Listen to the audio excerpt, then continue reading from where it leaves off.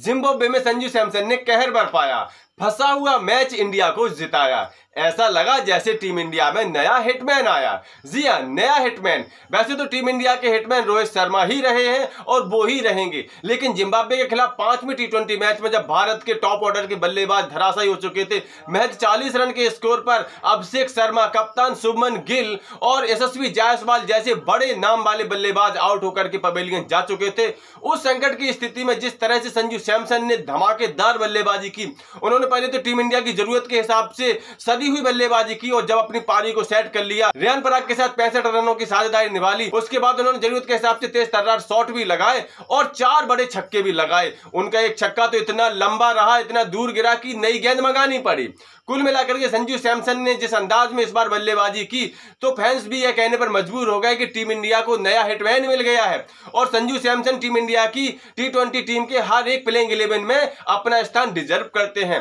गौरतलब है कि यहाँ पर संजू सैमसन ने इस बात को प्रूव कर दिया है कि क्यों उनको ज़्यादा मौके नहीं मिलने के बावजूद भी इस देश में उनके करोड़ों फैंस हैं और इसके साथ साथ सिलेक्टर्स क्यों उन पर बार बार भरोसा जताते हैं। अगर इस मैच में उनकी पारी की खास बातों पर नज़र डालें तो आप भी उनकी इस पारी की मुरीद हो जाएँगे। इस सीरीज़ के शुरुआती दो मैचों में संजू सैमसन को मौका नहीं मिला था, क्योंकि उस दौरान वो हिंदुस्तान में थे, जहाँ पर वो भारत की विश्व कप जीत के सेलिब्रेशन में शामिल हुए थे। लेकिन इसके के तीनों मैचों में संजू सैमसन को मौका मिला और इस पाँचवें टी मैच में उन्होंने शानदार मैच जिता पारी खेली। इस दौरान संजू सैमसन ने मात्र उनतालीस गेंदों में अपना अर्धशतक पूरा कर लिया। उन्होंने रियान पराग के साथ संकट के समय पैंसठ रनों की पार्टनरशिप निभाई और उनका अगर बल्लेबाजी का आंकड़ा देखा जाए तो 45 गेंदों में अट्ठावन रन बनाए, जिसके दौरान एक चौका और चार आसमानी छक्के शामिल किए। इस दौरान उन्होंने एक छक्का तो शानदार ढंग से लगाया, जिसमें कि गेंदी गायब हो गई। उन्होंने कुल 110 मीटर का छक्का लगाया और इसके बाद गेंद ही दूसरी मंगानी पड़ी। इस जोरदार छक्के के साथ ही संजू सैमसन ने छक्कों का एक रिकॉर्ड भी अपने नाम कर लिया और इसी के साथ ही फैंस ने उनको नए हिटमैन की संज्ञा भी दे दी। दरअसल संजू सैमसन ने इस शानदार छक्के के साथ टी क्रिकेट में अपने तीन सौ छक्के भी पूरे कर लिए और इसीलिए अब उनके फैंस उन्हें टीम इंडिया का नया हिटमैन कह रहे हैं। तो कुल मिलाकर के अगर देखा जाए तो ये बेमिसाल पारी रही संजू सैमसन की। यहाँ पर उसने अपने कैरियर की दूसरी हाफ़ सेंचुरी पूरी की।